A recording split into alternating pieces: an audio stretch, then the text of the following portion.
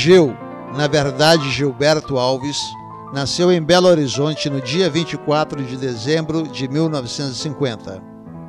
Começou a jogar futebol nas equipes de base do Cruzeiro e, a partir de 1970, passou pelo Uberlândia, Vila Nova, Comercial do Mato Grosso, chegando ao Fluminense do Rio em 1973, onde ficou até final de 1976. Pelo tricolor, fez 172 partidas e marcou 75 gols, conquistando os campeonatos cariocas de 1975 e de 1976, com a famosa máquina tricolor. A partir de 1977, jogou pelo Botafogo, Corinthians, Real Múrcia da Espanha, Coritiba, América do Rio, São Cristóvão do Rio e encerrou a carreira no Farense de Portugal, onde começou a profissão de técnico em 1984. Treinou várias equipes do Brasil e do exterior. Pela seleção brasileira, fez 41 jogos e marcou 13 gols. Disputou o Mundial de 1978 na Argentina e foi artilheiro do torneio bicentenário dos Estados Unidos em 1976. Recebeu o apelido de Búfalo Gil por ser forte, rompedor e veloz, além de finalizar muito bem com as duas pernas. De bem com a vida, é Gil quem conta. Como é que você começou a jogar futebol? Eu iniciei minha carreira no Cruzeiro em Belo Horizonte, né? Como todo garoto, numa peneirada. Um amigo meu me convidou para fazer a peneirada. E ali tinham 600 jogadores, né? Garotos como eu, para escolher 22, né? Eu treinei segunda, terça, quarta, quinta e na sexta-feira eu era um dos escolhidos entre os 22. Quem foi o seu primeiro técnico no Cruzeiro? Gerson dos Santos. Jogou no Botafogo há muitos anos atrás. Depois ele subiu para o infantil e posteriormente dirigiu o time principal. E que me levou até a categoria principal do Cruzeiro. Qual foi o melhor time que você jogou no Fluminense? 75 e 76 são duas equipes totalmente diferentes. Eu acho que, taticamente, a de 75 era melhor. Tecnicamente, a 76 era melhor. Porque a de 75 era Félix, Tuninho, Silveira Assis e Marco Antônio. Essa defesa já era bastante o tempo do Fluminense. Zé Mário, Rivelino e Paulo César, que o Paulo César veio com o Rivelino, Paulo da França, o Rivelino do Corinthians. Jogava eu, no início jogava Cafuringa, eu e, e, e Zé Roberto. Depois veio o Mário Sérgio, ficou eu, Manfrini e Mário Sérgio. Tecnicamente, a 76 eu acho um pouco superior. Agora, taticamente, essa 75 era, era muito, muito bem, muito bem posicionado o time dentro do campo. 76 já é uma diferença, jogadores mais experientes, que era Renato, Carlos Alberto Torres, Edinho que subiu, né? Miguel e Rodrigues Neto, Pintinho, Rivelino e Paulo César, eu, que está falando, no caso, Dovó e Disseu, onde fomos bicampeões. A única tristeza é que nesses dois anos nós perdemos dois brasileiros. Eu acho que o Horta não ficou satisfeito com essa situação de dois brasileiros perdidos e fez o troca-troca. Eu estava na Colômbia com, com a seleção e quando eu cheguei no Brasil já tinha sido feita a troca-troca e eu fui para o Botafogo. Seu melhor técnico no Fluminense? O melhor treinador foi o Didi. Valdir Pereira. Valdir Pereira. Esse, para mim, falava pouco, mas muito bem objetivo. Um estudioso do futebol daquela altura, que não era tanto de estudar os, times. Ele estudava, falava muito pouco, mas sempre quando falava, nosso time entrava em campo já sabendo o que ia fazer. Ele explicava tudo direitinho e participava com a gente no treinamento. Porque era um gênio da bola, né? Bater na bola igual aquele homem, nunca vi ninguém bater na bola igual. Então ele explicava, a gente, detalhe por detalhe, do jogo, o que vai acontecer, o que pode acontecer. Para mim foi o Didi. Diga aí o nome de dois ou três jogadores com quem você mantém amizade até hoje, jogadores que têm atuado junto com você naquela época da máquina. Bom, o, o mais, os mais chegados comigo são, no caso, que moram no Rio, né? Marco Antônio Rodrigues Neto, estamos sempre juntos. E Pintinho, quando vem da, da, da, da Espanha todo final do ano, a gente passa sempre um mês junto. Paulo agora está morando, Paulo Caju está morando em São Paulo, a gente, ele é até padrinho da minha filha. É o que eu mais. Rivelino, de vez em quando, encontro com ele. A partida mais importante que você fez pelo Fluminense? É uma partida que eu saí do banco para decidir o jogo.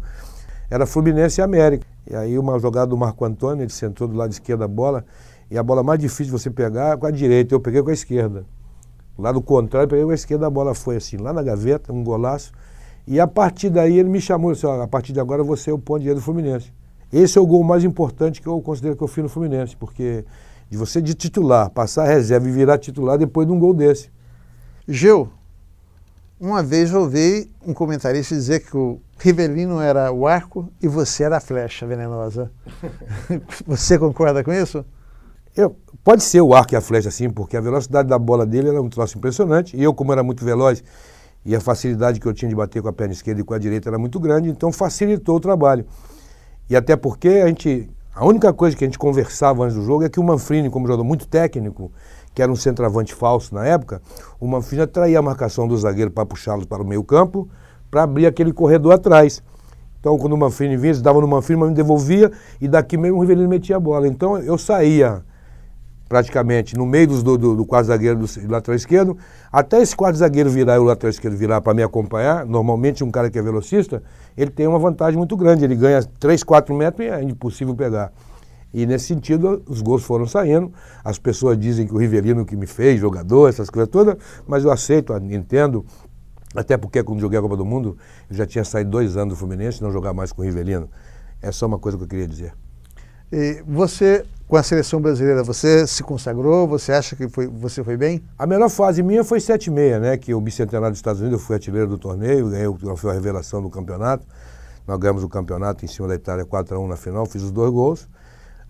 Eu acho que na seleção eu fui bem. Ganhamos Copa Roca, Taça Rio Branco, que agora é a Copa América, né? agora estão querendo reeditar de novo a Copa Roca. Tive uma passagem muito boa pela seleção, mas o, o melhor momento meu mesmo no futebol foi no Fluminense. Você conseguiu fazer a sua independência financeira com essa carreira tão brilhante? Independência financeira não, né? Até porque na, na, na a situação de nós jogadores dos anos 70 se ganhava bem para você sobreviver. Agora para ficar milionário com a carreira independente, não. Tenho uma vida razoavelmente tranquila, meus filhos criados, todos formados mas não tem uma situação financeira privilegiada como os jogadores de hoje, né? Porque hoje o jogador, qualquer jogador, sem ter inveja, sem ter bronca nem nada, qualquer jogador de nível regular para baixo ganha 50, 100 mil por mês. Como é que é a sua família? São quatro filhos, né? Uma mora nos Estados Unidos, Fernanda, já é do primeiro casamento, mora com a mãe dela nos Estados Unidos já há 20 anos. Tem Bruna, que é produtora de cinema, trabalha com a família LC Barreto, né, de cinema. Até fez agora, há pouco tempo, o filme do Lula meu filho Bernardo, esse é a ovelha negra da família, que ele é Flamengo. Ele é Flamengo, mas é a opção que ele teve. Tem um temporão com a mesma mulher, que é, que é para a verdade, é a mesma mulher. Eu tenho um filho de 12 anos, Marcelo, esse é tricolor doente, minha filha é tricolor, minha mulher é tricolor. São 36 anos já casados, quase 36 anos. Eu acho que não tem mais condição de mudar nem trocar de mulher mais, até pelos cabelos brancos, 60 anos que tenho. Tenho uma família consolidada, graças ao bom Deus, e vamos vivendo. Você vive em? Niterói. Qual o seu time de coração? É o Cruzeiro ou é o Fluminense? Bom, eu sou Fluminense e Cruzeiro, né? Porque o Cruzeiro eu iniciei minha carreira, mas tricolor por, por um detalhe. A minha mãe, minha falecida mãe, filha de italiano, meu avô Rossini, milanês. Eu sou preto, mas sou neto italiano.